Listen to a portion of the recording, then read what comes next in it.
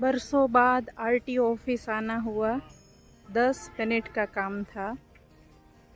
एक घंटा जितना टाइम लग गया। अभी भी हम यहीं पर है, पर फाइनली काम पूरा हो गया है। कार्निवल का टाइम आ गया। एक दो बार तो ट्रैफ़िक पुलिस ने मुझे पकड़ा भी था कि आप ऐसे ही जा रहे हैं तो मैंने बोला कि रिन्यूअल में डाला हुआ है। ऑनलाइन रिन्यू अगर करवाते हैं तो 200, 300, 400 इतना लगता है। एजेंट थ्रू करवाते तो उसका चार्जेस अलग रहता है। पर मेरा ऑनलाइन हुआ है तो वो अलग से जो 300-400 रुपये का चार्ज लगता है वो ऑनलाइन पे हुआ है। पर बैकलॉग एंट्री अभी जो करवाते हैं नेक्स्ट टाइम ऑनलाइन भी उसमें अपडेट कुछ कर सकते हैं। तो बैकलॉग एंट्री के लिए अगर ऑनलाइन अगर करते हैं, खुद करते हैं जाके तो कुछ चार्जेस नहीं है। जो फ़ोटो कॉपी के लगते हैं, वही है। पर अगर बैकलॉग एंट्री के लिए अगर एजेंट हायर करते हैं, जैसे कि आरटी ऑफ़िस के बाहर बहुत सारे एजेंट रहते हैं, लोगों की हेल्प के लिए भी रहते हैं। सबको नहीं आता है ऑनलाइन तो एजेंट हेल्प भी कर देते तो उसकी चार्जेस 900 लगता है। और 900 चार्जेस एक मिडिल क्लास फैमिली के लिए बहुत ज़्यादा रहता है, पर सबको आता नहीं है तो क्या कर सकते हैं अभी? आज 20 साल बाद फिर से यही आरटीओ ऑफ़िस में मैं आई हूँ। वो पुरानी यादें ताज़ा हो गई। 20 साल पहले मैं इतना डरती थी। गवर्नमेंट की कोई भी सर्विसेज़ में मुझे जाना होता था या तो मुझे बैंक में जाना होता था तो मुझे बहुत डर लगता था। वो ही आज ताज़ा हो गया कि एक दिन था कि मैं कितना डरती थी। किसी से बात करने में भी मुझे डर लगता था। और अगर ऑफ़िस में ऐसे बोल दिया ना कि ये काम आपका नहीं होगा, और ये पेपर वर्क कम है, या तो यहाँ पे आपको ये जमा करवाना है तो मुझे है ना रोना सा आ जाता। बीस साल पहले की बात कर रही हूँ। पर आज के डेट में ऐसा नहीं होता है। जो होगा देखा जाएगा। कुछ भी हो। ये तो छोटा सा काम था। ड्राइविंग लाइसेंस रिन्यूअल का काम था मेरा। और हो भी गया अभी। वैसे तो ऑनलाइन ही हमने किया था एप्लीकेशन।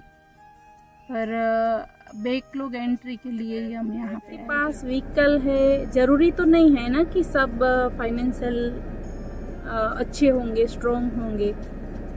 900 परचेस करने से अच्छा है कि वो खुद कर ले या ऑनलाइन कर ले पर सबको ऑनलाइन भी नहीं आता है तो एजेंट की हेल्प लेनी ही दूसरे लोगों की भी मैं बात कर रही हूँ कि जिसकी फाइनेंशियल कंडीशन अच्छी नहीं है उसको 900 बहुत ज़्यादा है। क्योंकि एज ए हाउस वाइफ में देखने जाऊँ तो 900 में टू वीक की सब्ज़ी तो आ ही जाएगी फ्रूट्स आ जाएँगे। दूध भी आ जाएगा। तो ऐसे भी देखते हैं ना बजट मेंटेन करते हैं जो वो एक एक रुपया देखते हैं ना। इजी नहीं है ये सब कुछ। पर खैर मेरा हो गया है। जस्ट अभी सबमिट करने हम जा रहे हैं। बाद में ये हो गया। काफ़ी लोग वेटिंग में बैठे थे, वो मुझे अच्छा नहीं लगा। बहुत सारे लोग, इतने सारे लोग वेटिंग में बैठे थे। क्यों बैठे थे वो मुझे समझ नहीं आया। शायद प्रोसीजर होगी। कब से वेटिंग में बैठे कभी कभी मुझे लगता है कि कोई भी गवर्नमेंट का जो वर्क होता है ऑफ़िस वर्क होता है, वो एकदम इजी स्टेप क्यों नहीं होता है? कई ऐसे लोग भी यहाँ पे थे, बेचारे इधर उधर घूम रहे थे और दस जगह पे घूम रहे थे। उसको पता भी नहीं था कि कहाँ जाना है, क्या करना है। और जो पहली बार आ रहा है, जिसका कोई सहारा भी नहीं है, बाहर एजेंट तो बहुत सारे रहते हैं, पर सब एजेंट की हेल्प नहीं लेते हैं। कोई अपने आप भी सीखना चाहता है, करना चाहता है। तो इन्फॉर्मेशन तो मैंने कहीं पर देखी नहीं, शायद होगी नहीं होगी, वो नहीं पता है मुझे।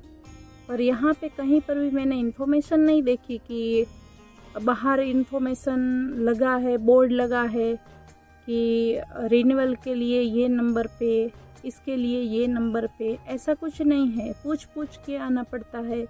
और यहाँ पे एरो भी नहीं दिया गया है कि यहाँ पे फ़ोटोकॉपी की जो शॉप है, उसका फ़ोटोकॉपी की शॉप है कोल्ड ड्रिंक का है, खाने पीने का है कैंटीन है। इतना अच्छा कैंपस है, बहुत अच्छा कैंपस है और बहुत बड़ा कैंपस है। अभी तक मुझे लोग मिले काउंटर पे, वो अच्छे थे, कोई नो डाउट अच्छे थे।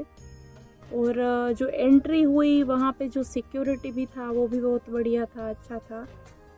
पहले जैसा नहीं है कि चलता है और जैसे तैसे बोल दिया, वैसा नहीं है। अभी काफ़ी अच्छा हो गया है और गवर्नमेंट भी अच्छा काम कर रहे हैं, पर आज एक लगा कि एरो भी होना चाहिए, कोई कंफ्यूज ना हो और दस मिनट का जो काम रहता है, उसको एक घंटा लगता है ढूंढते ढूंढते। जो इन्फॉर्मेशन अगर इधर उधर से हमें लेनी है उससे उसके बजाय कहीं बोर्ड लगा है। गुजरात में है तो गुजराती में बोर्ड लगा है। आ, हिंदी में लगा है या तो इंग्लिश में लगा है तो किसी को दिक्कत नहीं।